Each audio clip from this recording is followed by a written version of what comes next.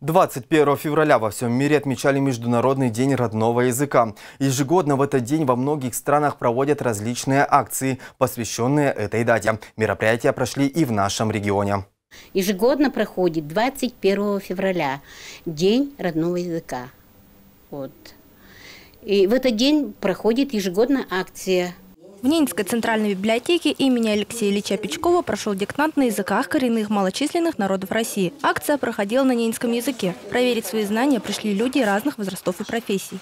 Я работаю уже 36-й э, год в СМИ, в средствах массовой информации, и уже в 16 лет веду ненецкую страницу «Елунд» в окружной газете «Недрина Виндер». Юлия Талеева, несмотря на свои глубокие познания в ненецком языке, постоянно совершенствует свои навыки.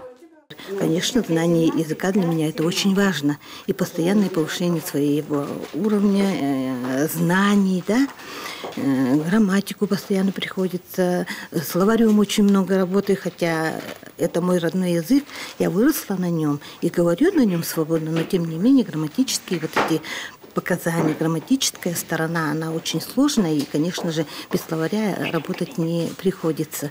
И вот, наверное, и поэтому я сегодня здесь. И очень рада, что сегодня пришли вот наши земляки, тоже хотят, э, хотят выразить свою волю да, к языку стремления. Учитель из Ненецкой средней школы имени Антона Петровича Перерка Матрена Талеева участвует в акции, чтобы поддержать свой родной язык. Преподаватели отмечают важность подобных мероприятий.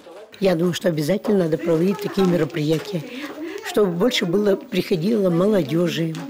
А взрослые, э, взрослое население наше, как говорится, взрослые, они с опытом и поддержать нашу молодежь. Надежда Талеева с нескрываемой гордостью и радостью в глазах читает стихи нашего земляка Прокопия Евтысова на родном языке. Харн вадин, ngayr мерче, ngaha nidu hanangu, сыра пили мули ниду тонтангу, вынне мне харпадареу ялу вурнга, еса вурнга, мядндунга мунунга. Певуч и звонок ненецкий язык. Всю любовь и нежность к ненецкой земле выражает в своих стихах северный поэт. Сильней ветров полярных, и голос мой метели не сотрут, Соцветиями северных сияний мои слова над тундрою плывут. Все участники акции получили памятные подарки и хорошее настроение.